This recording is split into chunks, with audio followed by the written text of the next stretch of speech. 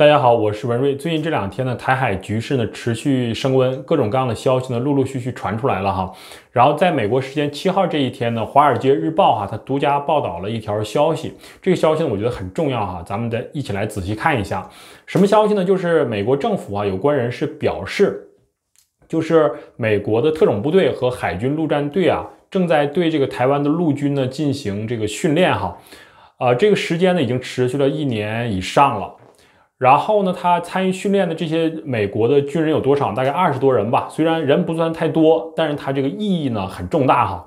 这个事情呢是一件非常大的事儿。我看了以后呢特别吃惊，不知道大家是什么感觉哈？我觉得这个事情呢比前段时间发生的那个三架美国的军机飞到台湾的这个事情更大，他对于这个习近平的压力也更大。就是正就是我觉得对于习近平是一个非常非常大的考验吧。那为什么是这样？咱们一会儿慢慢说哈。当然，我谈到这个消息呢，一些小粉红啊和一些所谓的爱国群众，他们是什么想法呢？大家觉得，他们会不会是这样的想法？是可忍，孰不可忍？哈，美国的这个军队都已经到了台湾了，现在我们要让他们这个尝一尝我们厉害国的这个厉害，对不对？会不会是这样啊？我们现在马上就要拿下台湾，对吧？正好我们缺少理由呢，正好你给了给了我们一个理由，是吧？大家觉得这个粉红们会是这种想法吗？我觉得可能不是，他们是非常了解北京的想法，非常了解北京高层的意思的。他们可能会这样留言说：“啊，文瑞，你就又是听风就是雨，对吧？不就是《华尔街日报》报了这么一点吗？对不对？你说什么呀，对吧？这事儿你证实了吗？你看见了吗？对吧？你去过台湾吗？台湾你看见美军在那儿了？他们很多人应该是这样的一个想法，对吧？这个心思呢，它也基本上代表了美国那个北京方面的心思。要说习近平看到这个消息，他他是最不希望。这个消息是真的，对吧？他就希望这个消息是假的，这样的话他就轻松了。哎呀，可下轻松了，这美军没来，他应该是这么一个心思吧？当然，这都是我的猜测，仅供大家参考。呃，怎么说呢？就是现在这个事情吧，真的，如果这个消息是真的哈，但我觉得应该就是真的，而且他这是美方的一种策略，然后他就在这个关键时刻把这个消息放出来，然后他会达到一种就是说，怎么说呢？事半功倍的这样的效果。对于习近平来讲的话呢？他就是一个非常非常大的考验，让他非常难堪，也让他怎么说呢？真是把他逼到了墙角了。首先，第一点啊，就是说，人家已经到了台湾这个一年多了，对吧？你不知道，完全不清楚，那不就说明你习近平非常无能吗？就说你控制下的这些什么所谓的情报机构，那就是摆设吗？不就是这这么个意思吗？或者说你知道你也不敢说吗？基本上就是这么一个态度嘛，对不对？不管你知道不知道，那习近平都很丢面子。是吧？就这样一个情况，这是第一点哈。第二点就是什么呢？现在这个人家这个美国军队哈，特别是人家特种兵到了台湾，那这个对于习近平来讲简直太没面子了。为什么这么说呢？就是说，你从习近平的角度来看啊，说台湾他一直强调嘛，对吧？北京强调说台湾是中国领土不可分割的一部分。那人家到了台湾了，你要怎么做呢？那我这么说，可能有些人不太理解哈。你就这么想吧，你说美国的这个军队哈，人家海海军陆战队或者特种兵没经过习近平的允许，到了上海会是一个什么感觉？你就这么想就行。从习近平的角度来看，他就是这么一个意思。反正他不是说了吗？台湾是中国通中国的一个省嘛，那就跟上海一样呗，对不对？跟广东一样呗。那这个时候，那习近平应该做什么呀？如果他还什么都不做的话，那这个事儿，大家觉得是不是对他来讲很麻烦呢？那他就是承认呗，台湾台湾不是中国的这个不可分割的一部分了呗，对不对？所以说就这一点，他压力非常大。还有一点就是什么呢？那么这些军队到了台湾，他帮助训练台湾的军队，要针对谁呀？他为啥要帮助台湾训练军队？针对的是谁呀？不就针对你北京吗？那这是一种什么行为啊？对吧？不用我多说了吧？你如果北京还不作为的话，那这个事情那就是一件非常大的事情，非常大的事儿了，对吧？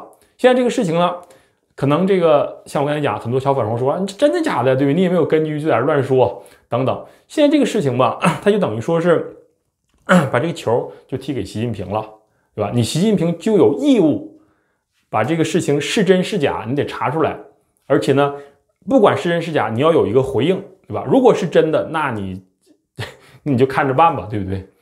所以说，我做这个事情啊，它就是比这个前两天这个飞机。啊，飞到台湾的事情更大。当时那个情况嘛，对吧？人家就是飞过来了，然后送点东西，人家后来马上就走了，是吧？那你装看不见就看不见。但现在这个人家说了，是就在你这个台湾本土，而且是在已经待了一年多以上了。你看习近平怎么办吧？对吧？这压力他就这么大。那么习近平会怎么做呢？他会强硬起来吗？对吧？大家看到有人说啊，你看这两天飞机不断的飞到台湾去，对不对？习近平显得很强硬啊。我觉得都是虚张声势，对吧？你飞再多又怎么样，是吧？你说那像那个对吧？能力很低的人，你聚集了一百一千又能怎么样？你也赶不上你能力强的一个人呐，是不是？就这么个道理啊。我觉得这个对于这个事儿吧，习近平他肯定又是假装不知道。就像前段时间飞机飞到台湾的时候，那时候习近平中间去了一个别的地方，假装不知道，对吧？也不提，也不敢说这个事儿，最后就那么不了了之，就这么过去了。对于这次这个事情，我估计习近平他也只能这样。如果他一旦提，一旦知道，他就得为这个事情负责任呢，他就得去追究这个事情啊，对吧？那这个想想起来，他可能就非常非常害怕呀。所以说，习近平他。这段时间，为了这个缓解国内的很多矛盾呢，经济方面的或者体制内的矛盾，他不断的把注意力往这个台湾这转移，对吧？又是多少架军机，又什么绕太空台湾飞行，搞得这个好像气势很大。但人家美国呢，就一点一点的随便，通过一个所谓的政是就是政府的有关人士，通过他媒体就放出这么一个料来，那你这个事情就让习近平相当相当的难堪呐。那咱们就慢慢往下看吧。北美国它采取的就是这种温水煮青蛙的策略嘛。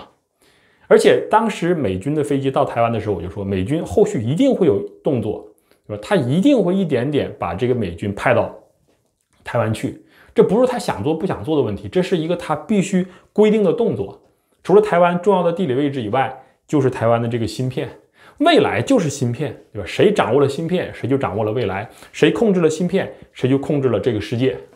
就这么简单。现在芯片的这个价值比石油啊，比什么这个黄金呐，比什么美元都要高的很多很多，对吧？整个就是说，现在台湾它整个芯片的产业链是不可复制的啊，不可能复制的，谁也复制不了，对吧？你就算是台湾把它所有的这个技术、资料、数据全部都给你别的公司，你的别别的地方也做不了，包括韩国都不行。所以呢，美国它必然要保护台湾，这是一个。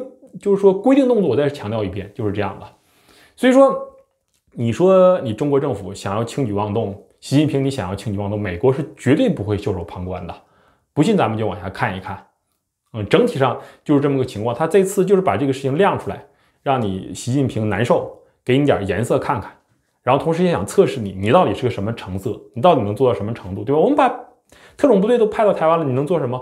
如果习近平还服软的话，不吱声的话，那一定会有后续的动作。不信，咱们就慢慢一点点看。